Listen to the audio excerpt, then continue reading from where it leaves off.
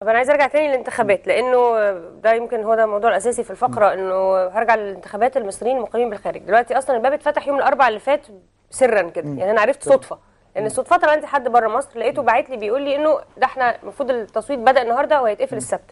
مع كل حضرتك قلت إن الجمعة والسبت أجازة وما شابه مدوا لغاية الحد اللي هو برضو أجازة بالظبط. في أوروبا وبلاد كتيرة. معنى كده إيه؟ معنى كده إن المقيمين المصريين المقيمين في الخارج مش هيقدروا يصوتوا؟ معنى آه. كده إنه 300 ألف بس من الكام مليون من الأربعة مليون ولا 3 مليون مش هيقدروا يصوتوا؟ يعني إيه؟ معنى- ده معناه إيه؟ اولا مش هيقدروا يصوتوا مش هيمكنوا من التصويت وده بي بي بيبطل شرعية الانتخابات. في فرق إن أنا ما أصوتش لأسباب أنا مش عايز أروح أصوت. أو مش عاوز أروح أو ماليش نفس أو مش مهتم. آه. وفي فرق إنه في ظروف قاهرة بتمنعني كذا أو في حد يعني تعمد إنه يعمل كده عشان يمنعني. وده. واضح بالادله وبالادله التامة. الشيء الآخر المصريين كمان عندهم مشكلة. يعني إذا كنا إحنا هنا دلوقتي مش عارفين بعد بكرة هتكون في انتخابات ولا لا. فما بالك بناس تانية هو معلن بس هو معلن إن هو المجلس الأعلى أكد أكتر من مرة الانتخابات هتحصل هتحصل في مظاهرات في اعتصامات يوم الاثنين. الاثنين الانتخابات. مو- حتى الآن هو قرار واضح بقاله أسبوع يعني. معناها إن هم يعملوا انتخابات لنفسهم. يعني يعني انتخابات لا شرعية لها مش معقول حد يعمل فيه انتخابات وما فيش أمن ودي ألف ب انتخابات. الشيء الآخر معظم المصريين في الخارج حتى بدأوا يفكروا إحنا كنا فرحانين إن إحنا لأول مرة في حياتنا هنحس إن إحنا مصريين بجد وبنختار حكومتنا وبنختار كذا.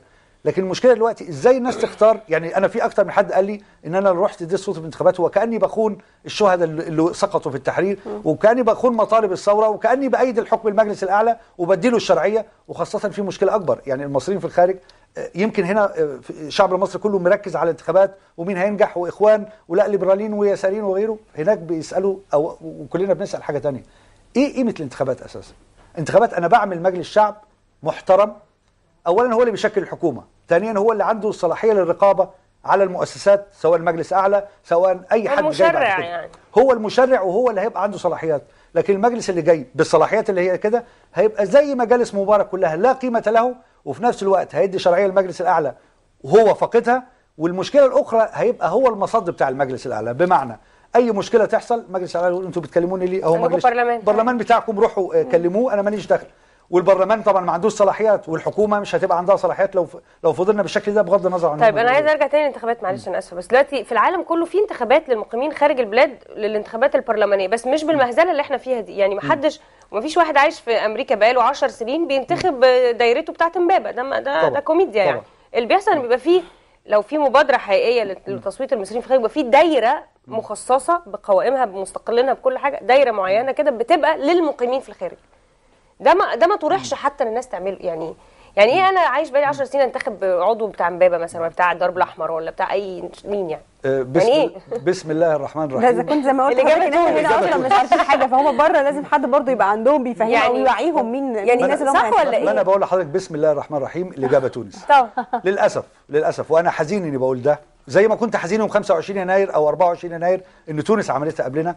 تونس عملت ال- التصرف المحترم اللي المفروض أي حد بيفهم يعمله. وده بيخلينا بنسأل هل في مستشارين المجلس الأعلى؟ هل كان في مستشارين للحكومة؟ هل معقول كل اللي موجودين معاهم كل قراراتهم واستشاراتهم غلط؟ أو بمعنى اعملوا اللي أنتوا عاوزينه وخلوا الناس وخلوا الدستور وخلوا القانون يخبط دماغه في الحيط؟ المنطقي تونس عملت إيه؟ اختارت 18 عضو من المقيمين في الخارج بمعنى إن هم مش بس لهم حق التصويت حق الترشح. يعني في ألمانيا في إيطاليا في فرنسا في في أمريكا في أمريكا اللاتينية في آسيا 18 عضو يكون لهم حق المشاركة في الجمعية التاسيسيه وخلي بالكم اولا حق المصري حق التوانسة في الخارج تم بالطريقة دي الطريقة المنطقية وتاني حاجة حقهم في البدء بتأسيس دستور. اولا بعمل دستور والشعب لو ودي مشكلة المجلس الأعلى الشعب كان المصري كان طالع بروح بعد ال- الثورة يعمل أي حاجة ومستعد يستحمل ويصبر بس يبدأوا صح. لو تم البدء بدستور زي ما عملنا في تونس أو بالانتخابات بالطريقة دي كان الأمور كلها مشيت بخير. لكن هي مشكلة التخبط اللي ليها علاقة بالانتخابات بره ليها علاقة باللي إحنا شايفينه يا بالتخبط شماتة المصري سجن ترى فينا والله. و- يعني شماتة سجن ترى إيه، كله عرفوا. عرفوا يعملوا اللي بيخططوا له من زمان. طبعا.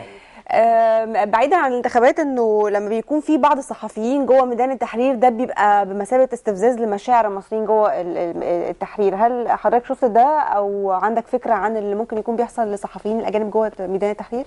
هو هو طبعا لا هو حسب حسب الظروف ال- الجهة لأنه في حد بنحس وإحنا موجودين إنه في ناس بت بتيجي للأسف مدفوعة. يعني أنا على سبيل المثال كنت امبارح آه، موجود وبتكلم مع اتنين زمايلنا لقيت حد بيشتم في البرادعي وبنت البرادعي و...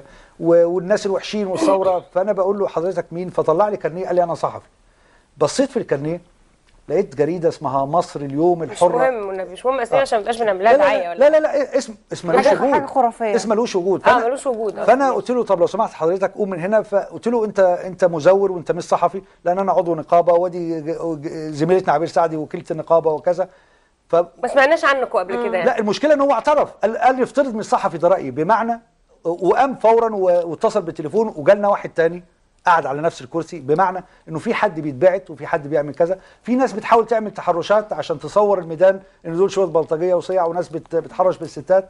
الصحفيين الأجانب طبعا بطريقة ال- الكوميديا اللي سمعنا عنها من الأمن المصري العظيم اللي قبض على ثلاثة من من طلاب الجامعة الأمريكية وقال إن دول جايبين بيفجروا مولوتوف في ازاز بلاستيك. أيوة. آه هو- في ازاز بلاستيك هو أصلا بس عشان عشان الناس تفهم يعني. عشان آه طبعاً البلاستيك يعني. لو اتحط فيه المادة هيسيح. هو الشعب المصري بس عشان يفهم المولوتوف قيمته الحقيقية إنه بيتحط في إزاز في إزاز عشان لما يترمي طلع كسر. الإزاز يولع. آه. البلاستيك لو رميتيه ورميتيه مش هيعمل حاجة. أول حاجة. حتى- أصلا هيسيح وهو مولع الفتيل. بالظبط. ف- فالعملية يعني في نوع من ال من ال من التخلف شوية. نوع من محاولات نفس طريقة امن أمن الدولة. طبعا الجهاز أمن الدولة لسه موجود ولسه بيتصرف ولسه بيتحرك. نفس طريقة نظام مبارك هي اللي موجودة. فكرة التحريض على الأجانب إن دول خونة إن دول عملاء إن دول كذا. فهي دي مشكلة. الموضوع انتهى. ويجب إن نظام مبارك يعترف إنه خلاص سقط ويجب المجلس الأعلى يعترف انه هو فشل في الإدارة السياسية ومصر محتاجه محتاجة خلاص يعني بنقول لهم كفاية. و- وإحنا كمان بنقول لهم كفاية وبشكرك جدا جدا يا أستاذ وليد على وجودك معانا النهارده وجود لك إن شاء الله الفترة اللي جاية. شباك لمصر كلها يعني. يا رب. أم، لسه مكملين فقراتنا وبعد الفاصل هيكون معانا أستاذ أبو العز الحريري عضو مؤسس بحزب التحالف الشعبي الاشتراكي. تعالوا نشوف بقى ما بين التحرير والعباسية واللي بيحصل والإعتصام اللي عند مجلس الوزراء النهارده الصبح وسقوط في كلام عن سقوط قتلى وعشرات من المصابين. خلينا نعرف تفاصيل بعد الفاصل.